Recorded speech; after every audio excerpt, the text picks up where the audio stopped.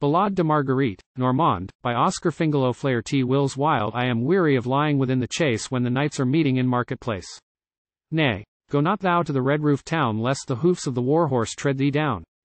But I would not go where the squires ride, I would only walk by my lady's side. Alack, and alack, thou art overbold, a forester's son may not eat off gold. Will she love me the less that my father is seen each Martinmas day in a doublet green? Perchance she is sewing at tapestry, spindle and loom are not meet for thee. Ah, if she is working the arras bright I might ravel the threads by the firelight. Perchance she is hunting of the deer. How could you follow o'er hill and mere?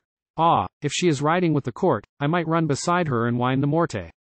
Perchance she is kneeling in Saint Denys, on her soul may Our Lady have gramercy.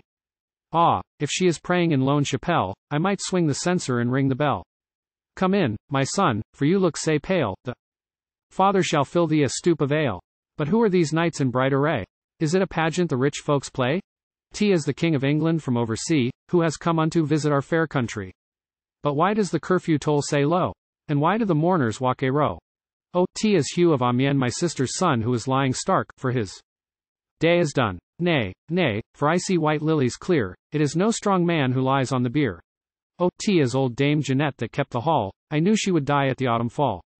Dame Jeannette had not that gold brown hair, old Jeannette was not a maiden fair. Oh, T is none of our kith and none of our kin, her soul may Our Lady assoil. From sin. But I hear the boy's voice chawning sweet, El est morte, la Marguerite. Come in, my son, and lie on the bed, and let the dead folk bury their dead. Oh mother, you know I loved her true. Oh mother, hath one grave room for two?